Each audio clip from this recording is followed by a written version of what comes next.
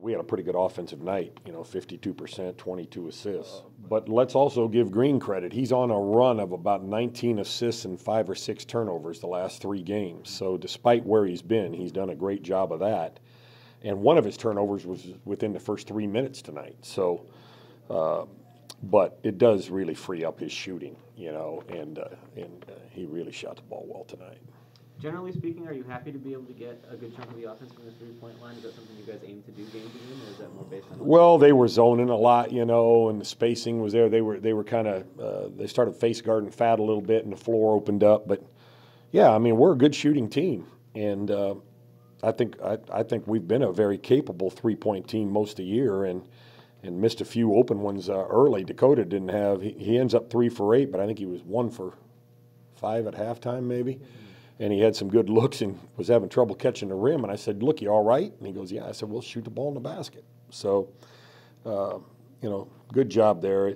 You know, they went to face guard and fat in the second half, and it's nice to have enough capable shooters out there with JJ and and uh, uh, Dakota and uh, Ott coming in to give you enough spacing that you can still get the ball into Dan and, and, and play. We just kind of took I don't know if you saw, there was about eight possessions. We just took Fat and stood him over on the sideline there and just let, if they're going to go face guard him, then we'll play four on four.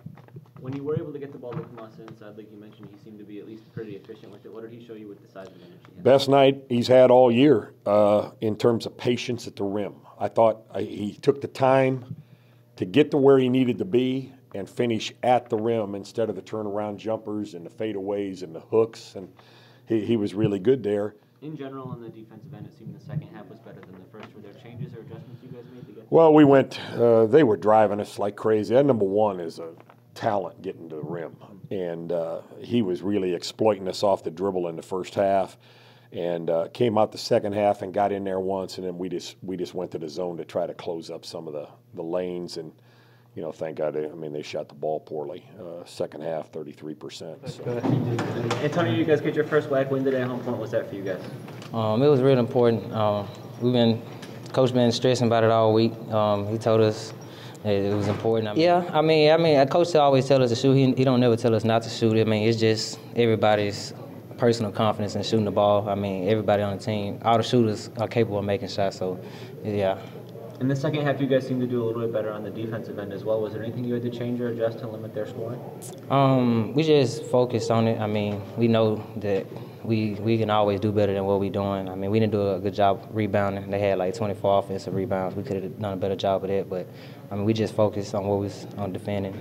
That's what the most important thing is. First WAC win today. How important was that for you guys to get off the losing streak? Uh, it was very important, man. We needed that to get going, get rolling we feel like we put a couple wins together, a couple next home games. So see what we do with that. Play, try to play harder, play smarter.